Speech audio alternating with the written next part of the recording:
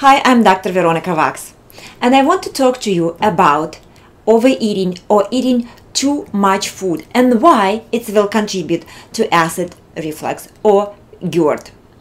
The explanation is very simple. When you eat large portion, it will go through the esophagus and into the stomach. And stomach is basically a sac and it has a capacity. When you eat a lot, stomach will stretch and it's connected to esophagus through the low esophageal sphincter.